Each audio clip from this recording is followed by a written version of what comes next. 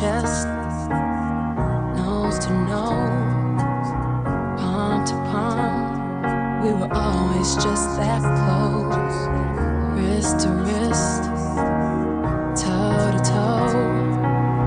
Lips that felt just like the inside of a rose.